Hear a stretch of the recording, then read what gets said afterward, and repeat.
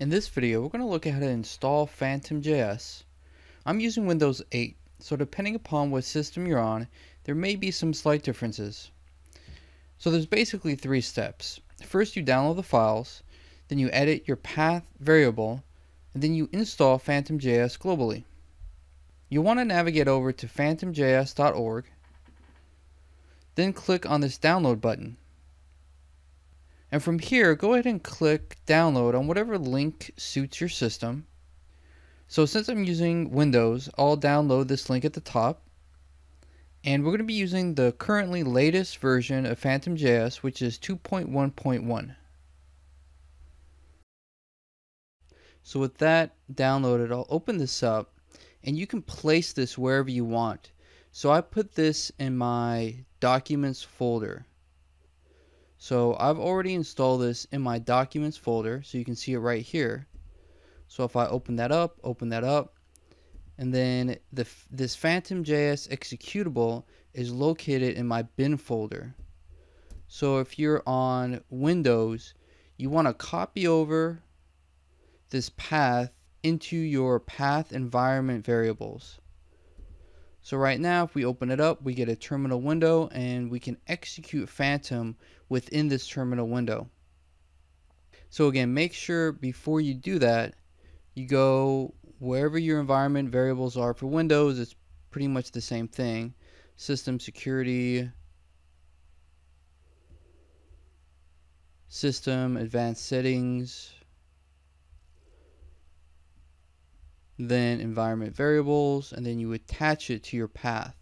So you would edit that and then put it at the end and then save it. So that's going to give you access system-wide to this Phantom.js executable.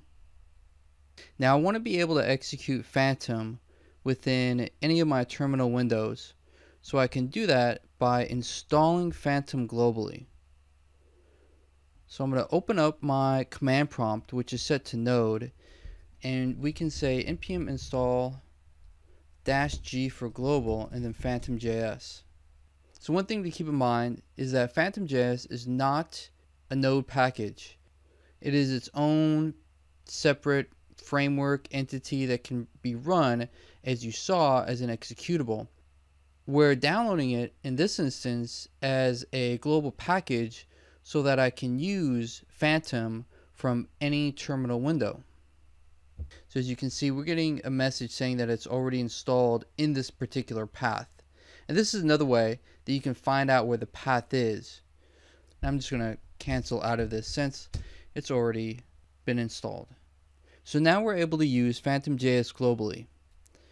And how we can do that is very similar to how we run a node server. So whenever we're running a server or loading up whatever kind of file that we want, in node we can just say node and then the name of our file right?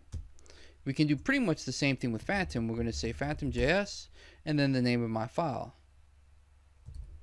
So I'm going to create a file and name it phantom.js I'm going to do it in a different directory though. So I've created a folder and now I'm going to navigate into this folder in my terminal and I'm going to create a new file and I'm going to name it phantom.js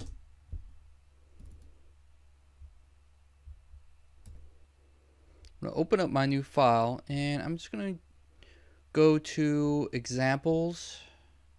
And we have some various examples that we can use to check that our phantom.js is working.